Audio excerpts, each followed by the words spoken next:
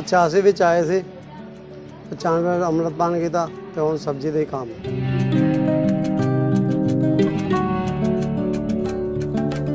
ਸਿੱਖ ਧਰਮ ਨਹੀਂ ਹੈ ਸਿੱਖ ਇੱਕ ਵੱਖਰੀ ਨਸਲ ਹੈ। ਵੱਖਰੀ ਕੌਮ ਹੈ।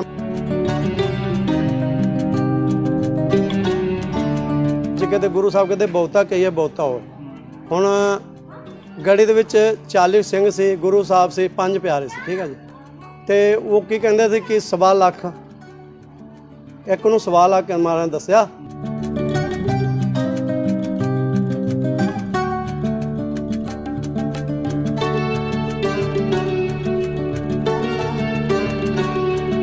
ਨੌਜਵਾਨਾਂ ਨੂੰ ਇਹ ਬੇਨਤੀ ਹੈ ਜੀ, ਗੁਰੂ ਵਾਲੇ ਬਣੋ, ਸਾਬਤ ਸੁਰਤ ਹੋ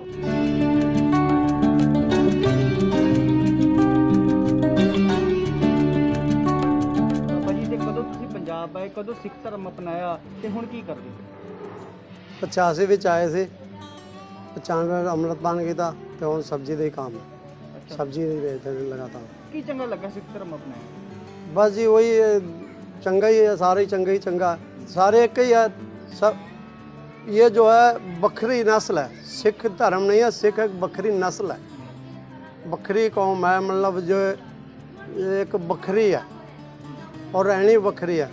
रहनी बखरी है ਗੁਰੂ ਗੋਬਿੰਦ ਸਿੰਘ ਮਾਨ ਕਾ ਸਵਾ ਲੱਖ ਦਾ ਇੱਕ ਲੜਾਉ ਚਿੜੀਆਂ ਤੇ ਮੈਂ ਬਾਅਦ ਤੋਂ ਤਵੇ ਗੁਰੂ ਗੋਬਿੰਦ ਸਿੰਘ ਨਾਮ ਬੋਲ ਜਿਵੇਂ ਦੇਖੋ ਹੁਣ ਮੰਨ ਲਓ ਮੈਂ ਇੱਕ ਸਬਜੀ 100 ਰੁਪਏ ਦੀ ਵੇਚੀ ਤਾਂ ਕਈ ਕਹਿਣਗੇ ਕਿੰਨੇ ਪੈਸੇ ਬਚ ਗਏ ਅਸੀਂ ਕਹਿਣਾ 1000 ਰੁਪਏ ਬਚ ਗਿਆ ਕਈ ਵਾਰੀ ਆਪਾਂ ਕਨਫਿਊਜ਼ ਨਾ ਹੋ ਜਾਈਏ ਜਿਵੇਂ ਹੁਣ ਮੰਨ ਲਓ ਮੈਂ ਕਹਿਣਾ ਕਿ ਜਿਵੇਂ ਕਹਿ ਦਿੰਦੇ ਨਾ ਯੂਪੀ ਬਿਹਾਰ ਵਾਲੇ ਝੂਠ ਬੋਲਦੇ ਅਸੀਂ ਇਹ ਹੈ, ਉਹ। ਜਿਵੇਂ ਹੁਣ ਅਸੀਂ 100 ਕੀ ਚੀਜ਼ ਲਿਆਏ ਅਸੀਂ ਕੀ 1000 ਵਿੱਚ ਕਹਿੰਦੇ ਗੁਰੂ ਸਾਹਿਬ ਕਹਿੰਦੇ ਬਹੁਤਾ ਕਹੀਏ ਬਹੁਤਾ ਹੋ ਹੁਣ ਗੜੀ ਦੇ ਵਿੱਚ 40 ਸਿੰਘ ਸੀ, ਗੁਰੂ ਸਾਹਿਬ ਸੀ, ਪੰਜ ਪਿਆਰੇ ਸੀ, ਠੀਕ ਹੈ ਜੀ।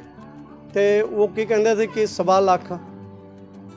ਇੱਕ ਨੂੰ ਸਵਾ ਲੱਖ ਮਾਰਾਂ ਦੱਸਿਆ, ਤੇ ਜੇ ਸਾਡੇ ਕੋਲ ਅੱਜ 1 ਲੱਖ ਰੁਪਇਆ ਆ ਜਾਏ, ਅਸੀਂ ਵੀ ਪਤਾ ਕਹਿੰਦੇ ਜੀ ਸਾਡੇ ਕੋਲ ਤਾਂ 10 ਲੱਖ ਹੈ ਕਿ ਪਰਮਾਤਮਾ ਅਸੀਂ ਦੇਖੇ ਨਹੀਂ ਨਾ ਪੈਸੇ। ਬਹੁਤਾ ਕਹੀਏ ਬਹੁਤਾ ਬਾਣੀ ਕਹਿੰਦੀ ਪਰਮਾਤਮਾ ਬਹੁਤ ਜਿਵੇਂ ਹੁਣ ਆਪਣਾ ਮਿਸ, ਮਿੱਠੇ ਪ੍ਰਸਾਦੇ ਕਹੀਏ ਨਾ, ਤੇ ਦੇਖੋ ਕਿੰਨੀ ਬੜੀ ਗੁਰੂ ਘਰ ਵਿੱਚ ਹੈ, ਤੇ ਆਪਾਂ ਦੋ ਪ੍ਰਸਾਦੇ ਲੈ ਲੈਣੇ ਆਪਾਂ ਹੁਣ ਛਕਣੇ ਆਏ ਕਿਉਂ ਗੁਰੂ ਘਰ ਵਿੱਚ ਹੈ ਖਾਓ ਮਨਵਰ ਛੱਡੋ ਨਾ ਕਨਵਰ। ਖਾਓ। ਧਰਮ ਪ੍ਰਚਾਰ ਕਿਵੇਂ ਕਰਦੇ ਹੋ? ਕਿਵੇਂ ਸਿੱਖੀ ਦਾ ਪ੍ਰਚਾਰ ਕਰਦੇ ਹੋ? ਇਦਾਂ ਹੀ ਚੱਲੀ ਜਾਂਦਾ ਆਪੇ ਹੀ ਪ੍ਰਮਾਤਮਾ ਕਹਿੰਦੇ ਪ੍ਰਮਾਤਮਾ ਆਪੇ ਕਰਾਈ ਜਾਂਦਾ ਜੀ ਆਪਾਂ ਕੀ ਕਰ ਸਕਦੇ ਆ? ਅਸੀਂ ਤਾਂ ਕੁਝ ਵੀ ਨਹੀਂ। ਪਰਿਵਾਰ ਤੁਹਾਡਾ ਸਾਰਾ ਹਾਂਜੀ। ਬੱਚੇ ਵਗੈਰਾ ਸਾਰੇ? ਪਰਮਾਤਮਾ ਦੇ ਜੋ ਵੀ ਹੈ ਕਿ ਕੀੜੇ ਥਾਪ ਦੇ ਪਾਸ ਆਈ ਲਸਕਰ ਕਰ ਸਵਾਬ ਪਰਮਾਤਮਾ। ਨੌਜਵਾਨਾਂ ਨੂੰ ਕੀ ਅਪੀਲ ਕਰੋ ਨੌਜਵਾਨਾਂ ਨੂੰ ਇਹ ਬੇਨਤੀ ਹੈ ਜੀ ਗੁਰੂ ਵਾਲੇ ਬਣੋ ਸਾਬਤ ਸੁਰਤ ਤੇ ਬਸ ਗੁਰੂ ਵਾਲੇ ਬਣ ਕੇ ਸੇਵਾ ਕਰੋ, ਚੰਗੀ ਗੱਲ, ਜਿਵੇਂ ਹੁਣ ਬੱਚਾ ਸਕੂਲ ਵਿੱਚ ਗਿਆ ਜੀ, ਉਹਨੇ ਪੜ੍ਹਾਈ ਕੀਤੀ ਸਰ ਤੇ ਉਹ ਬੱਚਾ ਵਧੀਆ ਜਿਵੇਂ ਕੋਈ ਵੀ ਕੰਮ ਕਰੇਗਾ, ਵਧੀਆ ਲਿਆਊਗਾ, ਕੋਈ ਐ ਨਹੀਂ, ਉਹ ਰਿਸ਼ਵਤ ਨਹੀਂ ਲਊਗਾ ਜੇ, ਪਰ ਧਾਰਮਿਕ ਪੜ੍ਹਾਈ ਪੜ੍ਹੀ ਹੋਵੇ ਤਾਂ।